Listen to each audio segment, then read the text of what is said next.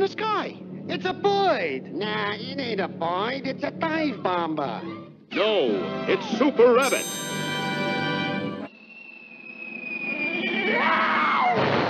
Bugs Bunny, the Super Rabbit, the Rabbit of Tomorrow. Uh, what's up, Doc? What caused this extraordinary metamorphosis of a timid woodland creature into the super dynamic rabbit of tomorrow? Let us turn back the clock and look into the laboratory of a certain noted scientist.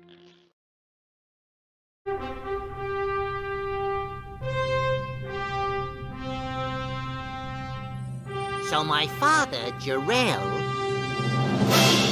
built a spaceship.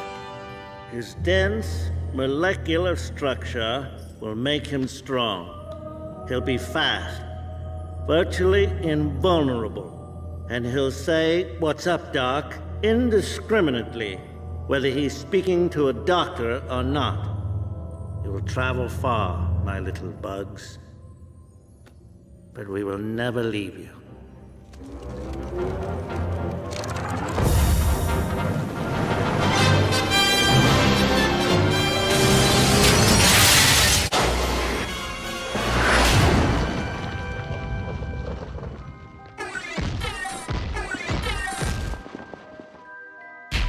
Say it. I surrender.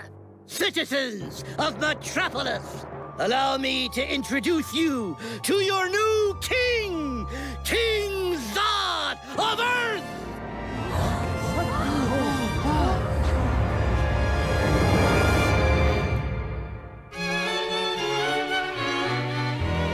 Heavenly shades of night are falling.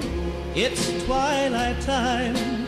Out of the mist, your voice is calling. Tis twilight time. When purple colored curtains mark the end of day, I'll hear you, my dear, at twilight time. Deepening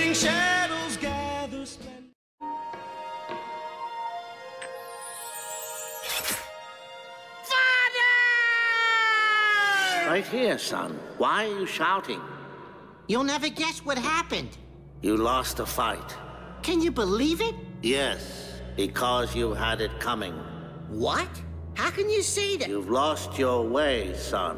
You've become a super spectacle. This was your idea. Wear a costume, you said. Be a symbol, you said. A symbol of hope, not of excess. Showing off is a poor use of power. Heroism is about helping others, not parades or grandstanding. But I keep Metropolis safe.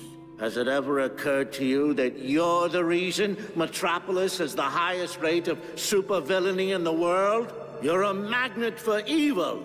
And now you've attracted the most dangerous threat of all Zod. Together at last at twilight time. Together At last at twilight.